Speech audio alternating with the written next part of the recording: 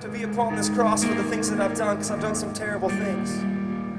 But he looked over at Jesus and he said, Jesus, you're not like me, for you've done nothing wrong, but you hang upon that cross, not for your own crimes, but for the, for the sins of the very people who put the nails through your hands and through your feet. Tonight I recognize what you're doing and who you are, and I ask this one thing of you. Will you simply just remember me when you come into your kingdom?